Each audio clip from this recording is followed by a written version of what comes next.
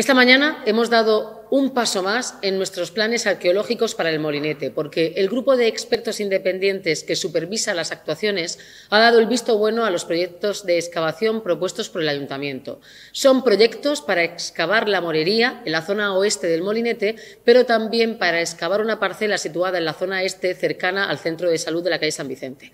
Después de esta aprobación, contrataremos los trabajos de excavación en cuanto tengamos el permiso de la Dirección General de Bienes Culturales. Nuestro objetivo es ampliar el conocimiento de toda la zona para tomar las mejores decisiones en beneficio de la arqueología y lo vamos a hacer siguiendo siempre el criterio de los expertos.